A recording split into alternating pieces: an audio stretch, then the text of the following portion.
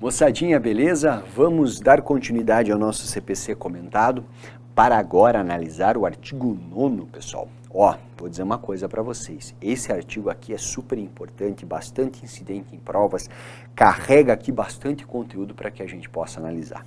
Vamos lá. Começo com a leitura do caput, tá? O caput vai dizer que não se profere decisão contra uma das partes sem que ela seja previamente ouvida.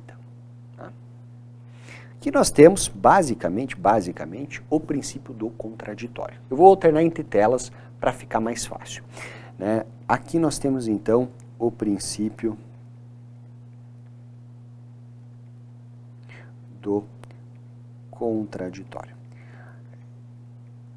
No vídeo passado, nós falamos rapidamente sobre o contraditório que estava ali inserido, na verdade no vídeo, não no, no passado, mas no anterior, quando falávamos é, do artigo 7 é, mencionamos alguma coisa sobre contraditório, eu lembro de ter dito a vocês que você tem que olhar para esse Czinho aqui e pensar em ciência.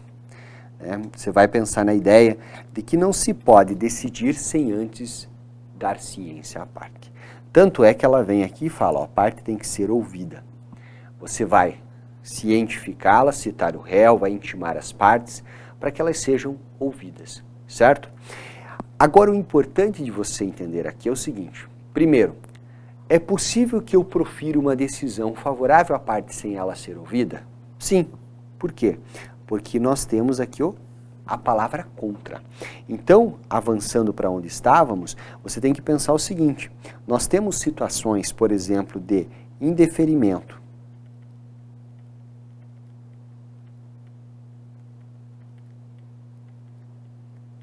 da petição inicial.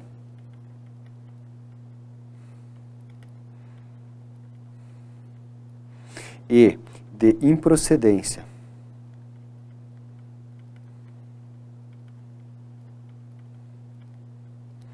Liminar do pedido,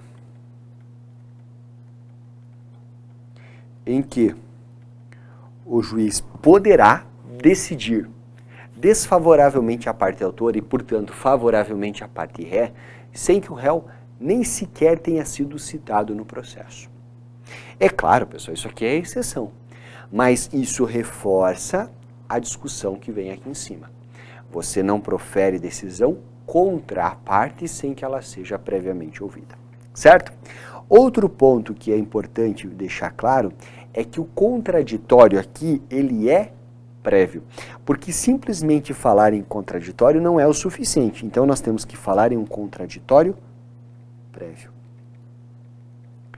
E aí, quando eu falo em contraditório prévio, eu estou diante da regra.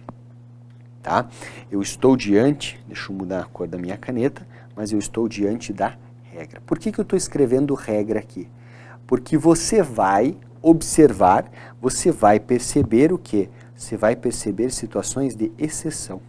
Deixa eu colocar no azul clarinho para manter aqui a, a mesma identidade. Você vai encontrar exceções. E aí, quando eu falo em exceções, talvez essa palavra nem seja a mais adequada, mas em mitigações. Você vai se deparar com situações nas quais o contraditório seja diferido. Gosto de contraditório diferido, contraditório postergado, contraditório postecipado, em contradição ao contraditório prévio que aqui vimos. Professor, em que casos, em que situações isso acontece? Veja comigo. Isso vai acontecer, pessoal, quando?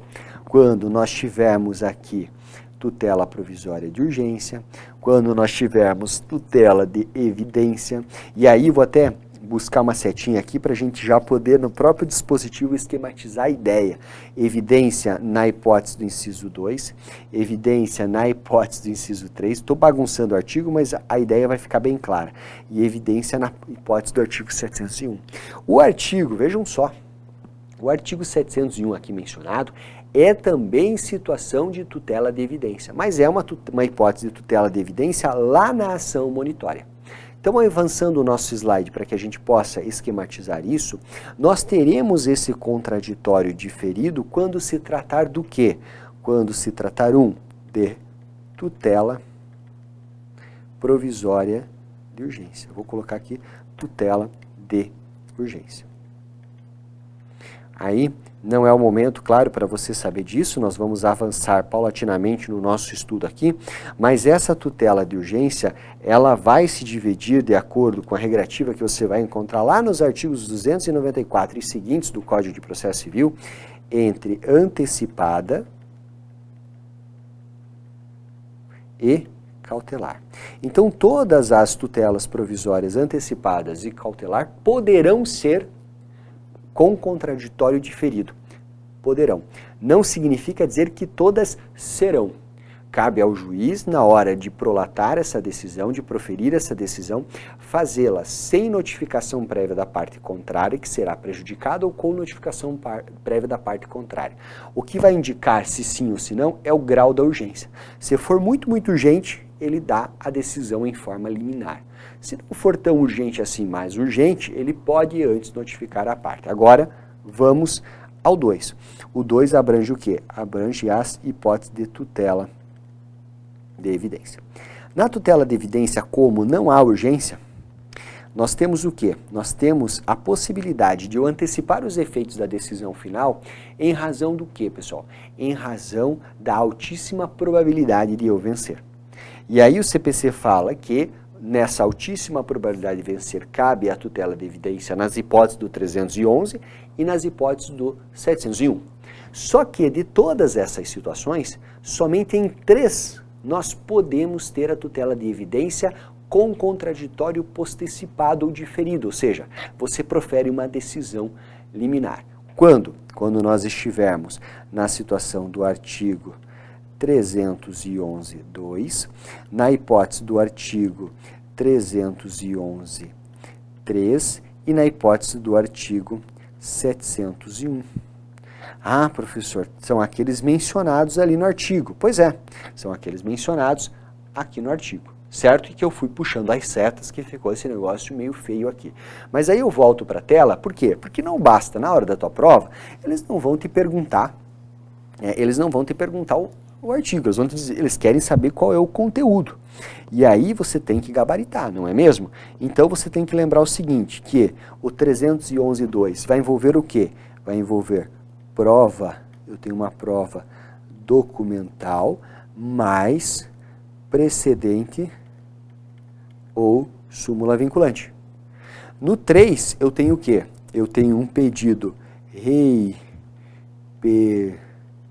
persecutório de perseguição da coisa, né? Um pedido repersecutório mais prova documental. E no 701 eu tenho o quê? Eu tenho o procedimento da ação monitória, né? Em que eu vou buscar ali né, o, o ajuizamento de uma ação para que é, eu busque né, a exigibilidade de um título que não tem eficácia executiva. Mas, como é altamente provável, eu já faço a citação do réu para que pague no prazo de 15 dias, sob pena de tutela de par, requerendo uma tutela de evidência. Ok? Então, estão aqui as hipóteses colocadas para vocês, tá? Eu vou aparecer no cantinho, vai fechar, mas é isso que você precisa saber. Eu volto para o artigo e eu digo a você o seguinte: tudo o que você precisa saber do artigo 9 para que você possa acertar de questões de prova está aqui.